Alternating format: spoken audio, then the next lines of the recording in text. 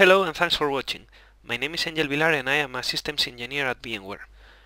On this video we are going to see how to use NSX Application Rule Manager, a feature introduced in NSX 6.3 that helps applying the right microsegmentation for our apps. It works by first gathering and monitoring flow data, which is then processed to replace IP addresses and ports by higher level constructs like VM name or services. Based on that info, an admin can easily create the right policy. If required, it can be double-checked by a security admin, and finally it can be pushed into the firewall table with just one click. Let's go and see it in action.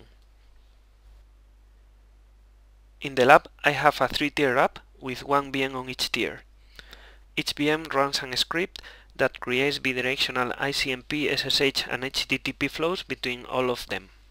We are going to use Application Rule Manager to analyze these flows and to create the policies that allow only connections from web to app and from app to database, plus an additional connection from any to web using uh, a TCP on port 80.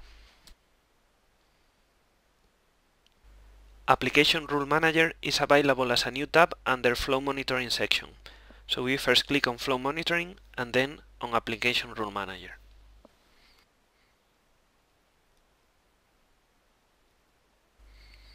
Once here, we need to click on Start New Session and on the new window we provide a descriptive name and then we need to select the virtual machines that are part of our app, for which we can use the virtual machine name or the VNIC of those virtual machines.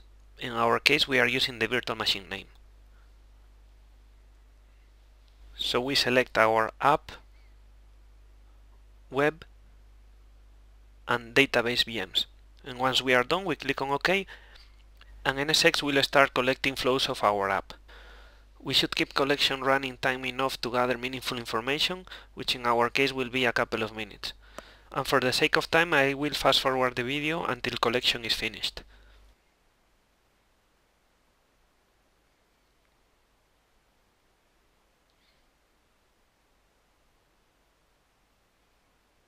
Once NSX has gathered significant information, we can click on Stop to finish the collection of flows.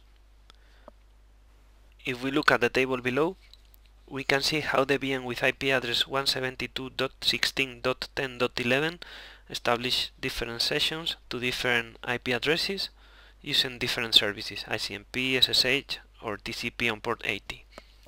If we scroll down, we can see different source IP addresses as well as different destination IP addresses. If we move on top and click on source, we can see the VNICs from which we are gathering information. And if we click on flows, we can see for how much time we have been doing the collection. In this case just a minute because it's for demo purposes only. If we click on analyze, NSX will process the data and replace IP addresses by higher level constructs like VM names. We will see it in just a few seconds. So we now have the processed view on which we have VM names on the source and destination columns and on which well-known services are used as well. So we have ICMP, SSH and on the case of TCP port 80 we have the candidate services as NSX identifies them. And the same goes for TCP 8080 as well. So let's now start creating our firewall rules and I will start by sorting the source column so that all the web tier information is shown on top. Here we go.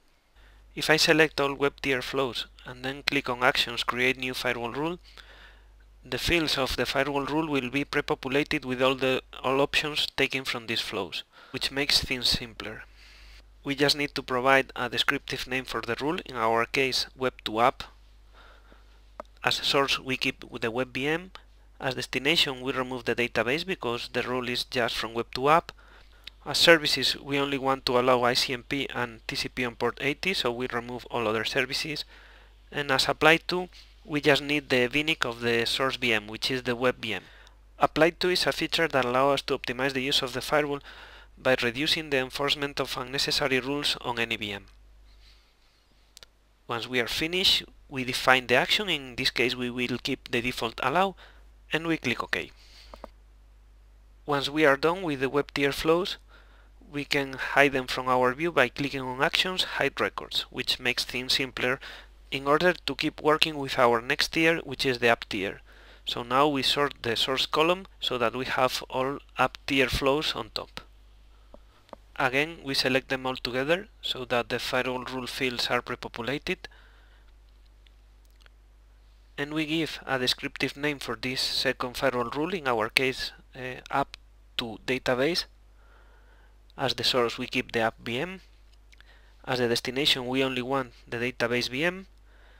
As services this time we want to allow SSH and TCP on port 8080 and as apply to we only need the source VNIC which is the database VNIC.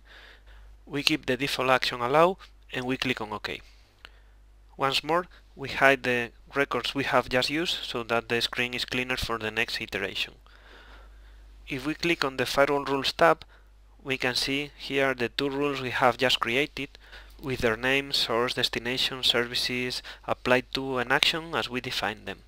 At this stage these rules are already predefined and can be edited if we want to, but they have not yet been pushed into the firewall table, which is something we will do later.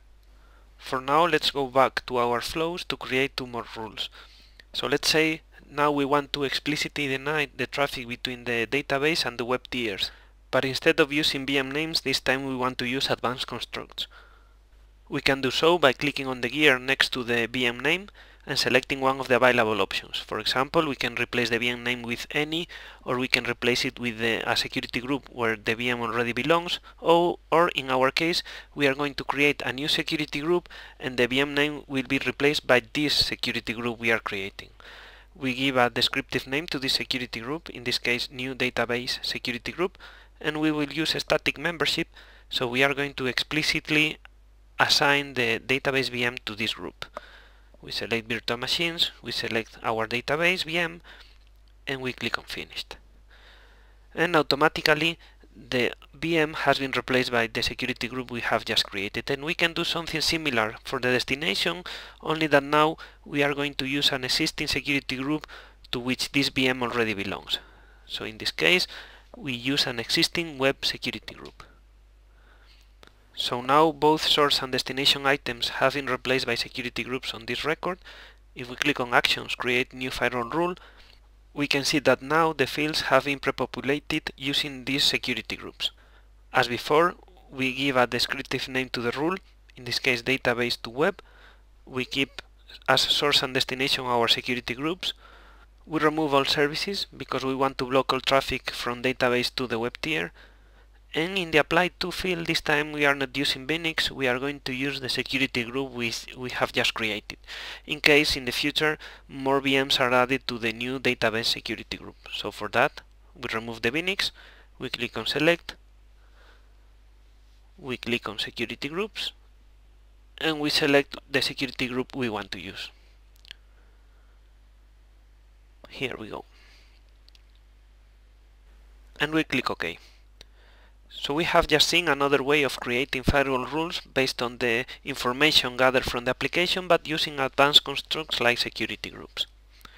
If we go and review the firewall rules we have just defined, we can see there is a mistake on the last one because we want to block traffic from database to web tier while the action is set to allow. So let's go and edit it. We click on the pencil, we select the right action and we click on OK. And now the rule is properly defined. So let's create a final rule to allow traffic from any source to the web tier on port 80. So for that, we click again on the gear next to the database VM and we replace it by any. Destination is web VM, so we can click on action, create firewall rule. The fields are pre-populated, so we give it a descriptive name, any to web. Source is pre-populated with any, destination is pre-populated with web, we want to keep the service TCP on port 80 but now in the apply to field we are removing all entries because since we cannot control where is the source we want this rule to be applied in all the firewall. We click on OK and we are done. So let's do a final check of our rules and we can see this rule we have just created is at the bottom of the table so we need to move it up. We select it, we click on the up arrow until we get our rule to the top.